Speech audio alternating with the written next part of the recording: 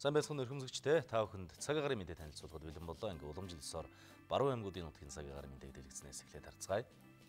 За өнөөдөр Баруун аймагуудын нутгаар цаг агаар тогтун дулаан өдөр үргэлжилж байна.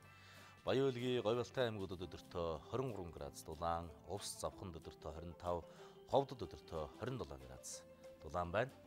Төв аймагуудын нутгийн мэдээг харцгаая. За төв аймагуудын нутгаар мөн цаг агаар тогтун дулаан өнөөдөр одоо дулааны хэмбэл нэлээд өндөр болж ирж байна. За жишээлх юм бол Булган, Сэлэнг аймагуудад өдөртөө 30 градус дулаан, Дархан улд өдөртөө 32 градус дулаан байна.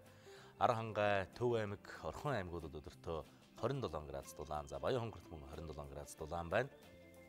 Өвөр хангайд өдөртөө 28 градус дулаан, Хөвсгөлд өдөртөө 26 градус дулаан байх бол нийслэл Улаанбаатар хотод өдөртөө цагаар тогтун 29 градус дулаан байна.